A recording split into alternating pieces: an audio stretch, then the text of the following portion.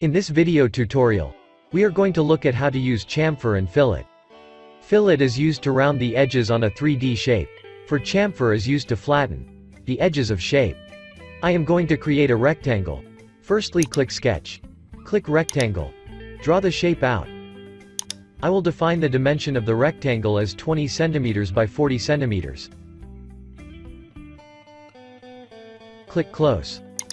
And then I will extrude the rectangle 10 centimeters in height. Click Tool.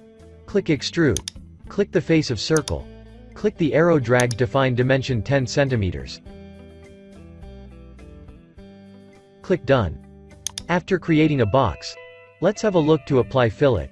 To apply fillet, first we have to click to select the edges of the shape that you would like to fillet. For example, I would like to apply to this edge. I have to click to select it.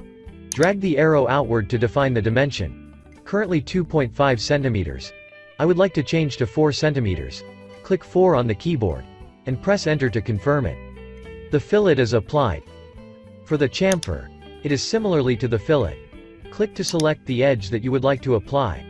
I am going to apply to this edge of the shape, click the edge to select it. Click the arrow hold it drag inward to the shape. To indicate the dimensions of the chamfer, I define dimension to 4 centimeters. Press enter to confirm. The chamfer is applied.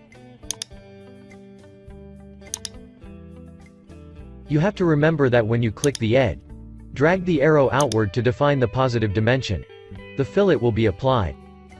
Actually, if you drag the arrow inward to shape for the negative dimension, the chamfer will be applied.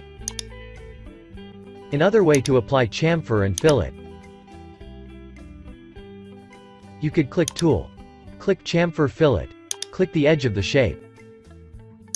Click the arrow. Drag outward to apply fillet. Drag inward to the shape. If you want to apply chamfer, click Done to finish applying.